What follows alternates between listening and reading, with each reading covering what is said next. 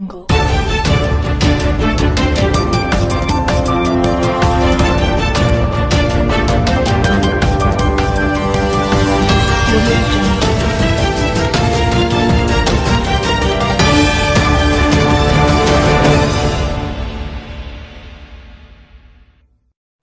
वालेकुम नाजरीन। आप देख रहे हैं लीडर है सियासत उर्दू न्यूज़ चैनल। मैं हूँ सैयद खालिद असलम।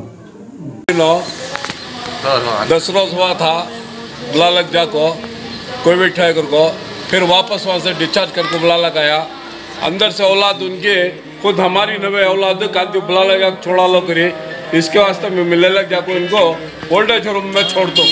अल्लाह ताला ऐसी दुआ, ऐसी औलाद से ऐसी औलाद को अल्लाह ताला नेक सेहत और और अच्छी अखलाक देना, और आलिमा इनो बोलो मैसूर राजू नगर से। कहाँ से बात कर रहे राजू नगर से बात करो तो मैं मैसूर से। नाम भाई अपना? मेरा नाम मोहम्मद यूनुस। एंबुलेंस ड्राइवर का घर का बाहर बुला लिया। ये मेरा नंबर जय मेरा जय तनवीर।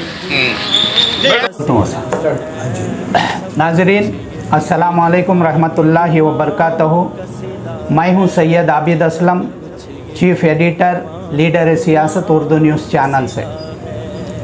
नाजरीन, दो दिनों से एक वीडियो वायरल हो रहा है जो मैसूर के राजू नगर के एक बुज़ुर्ग को हॉस्पिटल से वापस आने के बाद वो घर पहुँचते हैं। घर पहुँचने के बाद उनकी औलाद उनको वापस भेज देते हैं कि कहीं इनको किसी आश्रम में रख दें। इस वीडियो को देखने के बाद हमारे चैनल को लगातार फ़ोन्स आ रहे हैं। ये क्या वाक़ हुआ है, इसकी तफसील हमें बताइए। इस ताल्लुक़ से हम रियासत कर्नाटक के मशहूर अदीब, शायर, सहाफ़ी, समाजी खिदमत गुजार जनाब इशरतुल्ला इशरत को हम हमारे स्टूडियो को बुलाए हैं और उनसे हम पूछना चाहते हैं कि माँ बाप की अजमत क्या है। हाजरीन अस्सलाम वालेकुम आप सबने ये चैनल पर देखा होगा कि यूनुस साहब ने जो खिदमत अंजाम दिए हैं, वो इंसानी अखलाक से बालातर हैं। वो ऐसे ही अखलाक अगर सब में भी आ गए तो हर मोहल्ले में, हर घर में एक तरह की एक सुकून नहीं, एक तरह का एक हिम्मत बांधी जाएगी। इस तरह का यूसुफ साहब, यूनुस साहब ने काम किया है।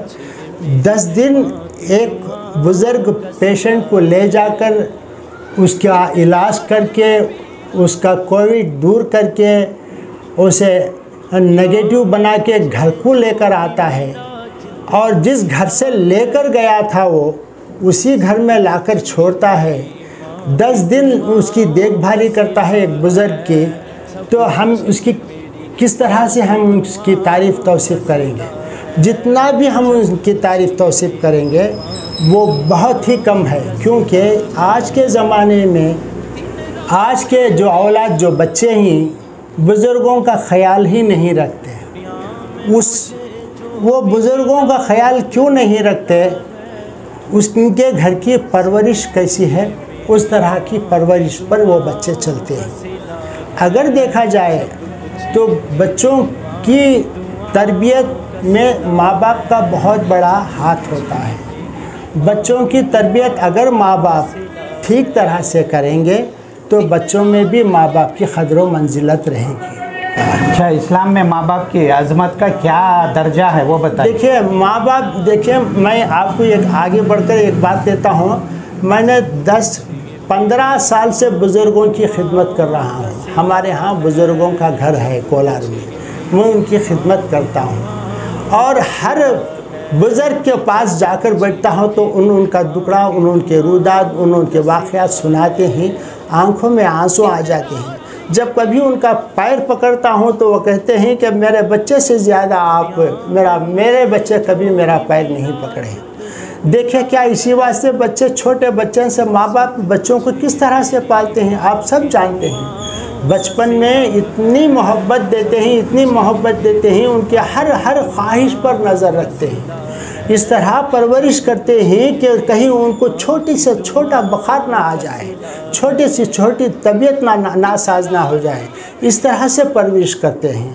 और बच्चों की जवानी तक इस तरह से कुर्बानियाँ देते हैं, इस तरह से अपने कुर्बानियों को, अपने ख्वाहिशात को मारकर बच्चों के ख्वाहिशात को दूर करते हैं। बच्चों की तरबियत के लिए क्या कुछ नहीं करते। हैं क्या माँ बाप यही सोच कर करते हैं कि हमारा फ़र्ज़ है ये करने के बाद हमारे बच्चे करें या ना करें वो और बात है बोलकर और ये समझ कर करते हैं कि हम भी अगर बूढ़े हो जाएँगे तो हमारे बच्चे हमारा साथ देंगे हमारे परवरिश करेंगे अच्छा माँ बाप बच्चे को छोटे से जी। एक बींच को जी। एक बड़ा झाड़ बनाकर जी। उसे इंजीनियर बनाकर जी। डॉक्टर बनाकर जी। ऑफिसर बनाकर क्या ये दिन देखने के वास्ते माँ बाप पैदा करते सो देखिए, आज दिन देखिए, आबिद साहब ऐसा है तो एक माँ बाप जो होते हैं, किसी को हाथ अलग है। हाँ एक बात क्या है तो माँ बाप क्या चाहते हैं, बच्चों को बड़ा, मेरा बच्चा लायर बनेगा, मेरा बच्चा डॉक्टर बनेगा, मेरा बच्चा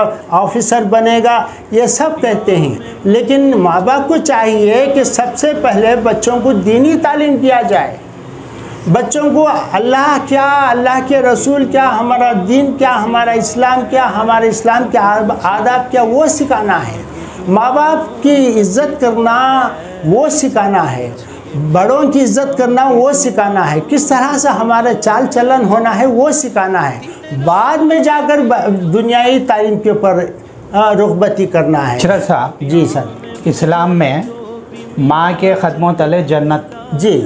बाप उस जन्नत की की कुंजी जी जब बाप के दिल को दर्द होता है तो जी। मौला हल जाता है। बिल्कुल। है ना भैया बात? बिल्कुल है। कल जो वाकया हुआ है इससे क्या अल्लाह ताला पाक खुश हुए? नहीं नहीं अल्लाह ताला खुश नहीं हुए है। ये बिल्कुल गलत बात है। ये जो आप माफ़ी मांग रहे हैं गलत फहमी हो गई है जो कह रहे हैं ये बिल्कुल गलत बात है। में गैरों में क्या मैसेज जाएगा इस्लाम का? आज जो है आपका जो इनकार करना धिक्कारना बाप को घर के अंदर ना लेना हमारे कौम में बहुत बड़ी जिल्लत का एक सबक मिला है। ये जो अगर दूसरे कौम वाले देखते या हमारे हैं लोग देखते तो सब, हर कोई देखता है तो उसको रोना आता है, उसको दर्द होता है, ये कैसे बच्चे हैं ये आप जितने भी माफ़ी मांगिए, ये गलत काम आपने किया है। ये काम नहीं करना चाहिए था। माँ बाप की खतर मंजिलत आपको मालूम ही नहीं है। आपका घर की आपके घर की परवरिश सबको मालूम हो गई है इशरत साहब जी सर। आप शायर हैं जी। बड़े मशहूर शायर हैं जी, जी। बहुत अच्छी शायरी बोलते जी हैं हाँ, जी हाँ। आपके कई मुशायरे हमने देखा है जी, जी। आपने माँ बाप की कदर मंजिलियत के ताल्लुक से कुछ अशियार लिखे हैं जी, तो बताइए जी अब बुज़ुर्गों का सर पे जो साया ना होता बुज़ुर्गों का सर पे जो साया ना होता लड़कपन जवानी तक आया ना होता। लड़कपन जवानी तक आया ना होता। ये नन्हे से पौधे शजर कैसे बनते? वाह वाह ये नन्हे से पौधे शजर कैसे बनते बड़ों ने पसीना बहाया ना वाह वाह वाह वाह बहुत खूब बड़ों ने पसीना बहाया ना होता। तेरी रात कैसे शहर में बदलती? वाह। तेरी रात कैसे शहर में बदलती? अगर हमने दिल को जलाया ना होता वाह वाह अगर हमने दिल को जलाया ना होता मेरा दर्द ज़ाहिर ना होता किसी पर मेरा दर्द ज़ाहिर ना होता किसी पर अगर खून दिल का बहाया ना होता। अगर खून दिल का बहाया ना होता दुआएँ ना मिलती बुज़ुर्गों से मुझको दुआएँ ना मिलती बुज़ुर्गों से मुझको अकीदत से सर को झुकाया ना होता। अकीदत से सर को झुकाया ना होता कहाँ लिज्जत वसल मिलती है आए इशरत कहाँ? लिज्जत वसल मिलती है इशरत। जुदाई में दिल को तपाया ना होता। बुज़ुर्गों का सर पे जो साया ना होता। लड़क पर जवानी तक आया ना होता। अरमान व आरज़ू के जनाजे निकल पड़े। अरमान व आरज़ू के जनाजे निकल पड़े। कुछ इम्तिहान थे जिनके नतीजे निकल पड़े। कुछ इम्तिहान थे जिनके नतीजे निकल पड़े। लड़ने झगड़ने बाप से बेटे निकल पड़े। लड़ने झगड़ने बाप से बेटे निकल पड़े। पत्थर से बात करने को शीशे निकल पड़े। वाह वाह। पत्थर से बात करने को शीशे निकल पड़े। बच्चों की जब कमाई के रास्ते निकल पड़े। बच्चों की जब कमाई के रास्ते निकल पड़े माँ बाप घर से हाथ पसारे निकल पड़े। माँ बाप घर से हाथ पसारे निकल पड़े। कैसा सबक दिया है ये गंदे समाज ने? कैसा सबक दिया है ये गंदे समाज ने? ठुकरा के वालिदेन को बच्चे निकल पड़े। ठुकरा के वालिदेन को बच्चे निकल पड़े। अय मुफलिसी, भला हो तेरा, तू तो साथ है। अय मुफलिसी, भला हो तेरा, तू तो साथ है। लाठी थमा के हाथ में बेटे निकल पड़े। लाठी थमा के हाथ में बेटे निकल पड़े। बच्चों ने चुन लिया है। बच्चों ने चुन लिया है। बच्चों ने चुन लिया है। बगावत का रास्ता। बच्चों ने चुन लिया है। बगावत का रास्ता। उम्मीद जिनसे थी वो सहारे निकल पड़े। उम्मीद जिनसे थी वो सहारे निकल पड़े। इशरत हमारे दौर का यह अलमिया तो है। इशरत हमारे दौर का ये अलमिया तो है। उम्मीद के चमन से शरारे निकल पड़े। माँ बाप घर से हाथ पसारे निकल पड़े। पत्थर से बात करने को शीशे निकल पड़े। कल इसका जो वीडियो आया था जो वायरल हुआ था अब उसका वो क्लैरिफिकेशन दे रही वो आ को ही हमारे घर में हमारे दादा हमारे घर को आ गई। वो तब इसका एड्रेस गलत हो जाने में वो दूसरे के घर को चले गए थे सो अब हमारे घर को आको ही घर में भी आको ले लगा को रखो ही अब हमें हॉस्पिटल से बुला लगा को डिस्चार्ज करा लेगा। को तो वो दूसरे के घर को चले गए थे ना उसमें मिसअंडरस्टैंडिंग हो गए थे सो वालेकुम रहमतुल्लाहि वरकatuh जो हज़रत के ताल्लुक़ से मैं ही अपने दादा हमारे घर में रहे और वो गलत एड्रेस पर लेकर गए थे, कर कर, कहे ही, ये सरासर गलत है, मैं वही घर से लाया था और वही घर कर मैं लेकर वही घर को मैं लेकर गया था। इतना बेवकूफ़ नहीं कि किसी और को घर कर ले जाकर खड़ा कर कर कि उनकी औलाद को मैं बेहरमती करूँ। उन्होंने साफ़ इनकार कर दिया और दरवाज़ा तक नहीं खोला। वो खुद कह रहे थे कि मैं, हम इनके महिंदर औलाद हैं। यही कहा था उन्होंने। उनकी औलाद बनी मटब में है, दूसरी जगह है, वहाँ लेकर जाओ, कर कर कहे थे। मैं उनको जानता नहीं था, जिस जगह से मिलाया था, उसी जगह पर लेके गया था। आप आकर उनके कोई रिश्तेदार लेकर गए मुझे इसका इल्म नहीं है। लेकिन जो मैं कुछ कर रहा हूँ, वो उल्टा मेरे ऊपर इल्ज़ाम लगा रहे हैं कि मैं गैर गलत के घर ले गया था, वो उनके घर को नहीं ले गया था। ये सरासर गलत है। माफ़ कीजिएगा, मैं किसी की बेहरमत